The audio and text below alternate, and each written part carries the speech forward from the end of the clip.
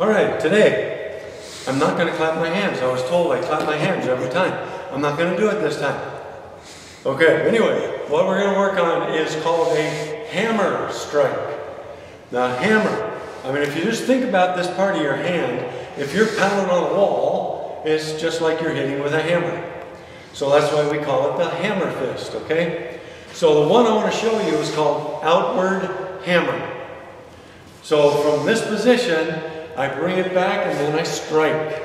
Now I don't want to stop on the target.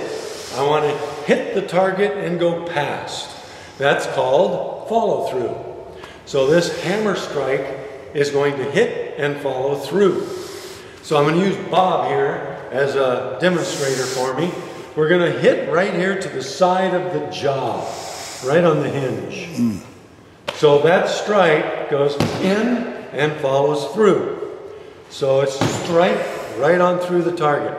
With a person, because we've got such a cool neck thing going on here, when they hit, it causes the head to snap.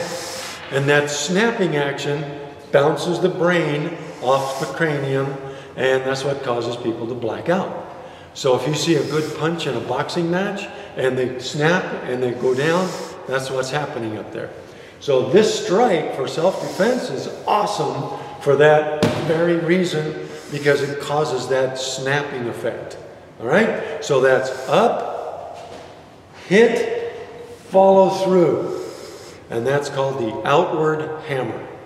So if you'd like to learn more self-defense application techniques like this, come on down to the Hand-to-Hand -hand Combat Training Center in Idaho.